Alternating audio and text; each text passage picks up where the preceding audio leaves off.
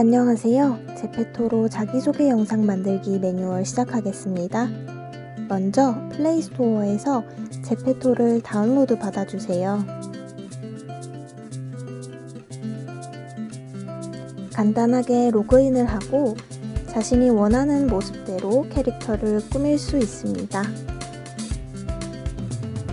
하단의 메뉴 중 플러스 버튼을 눌러 만들기 탭으로 이동합니다. 오른쪽 상단에 있는 카메라 버튼을 누르면 액션 캠 메뉴로 들어갈 수 있습니다. 이제부터는 아바타가 표정을 인식하여 표정을 따라하게 되는데요.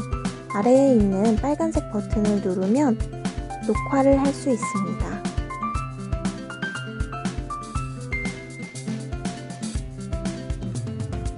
영상 촬영이 완료되었다면 다양한 메뉴를 통해서 동영상을 꾸밀 수 있습니다.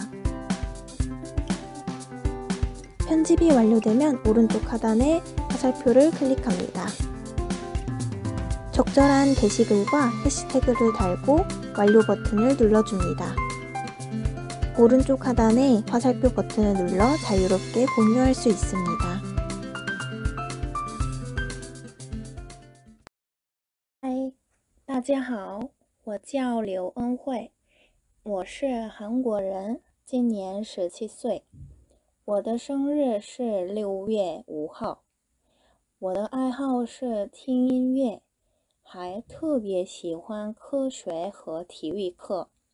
我想当厨师，今后请多多关照，拜拜。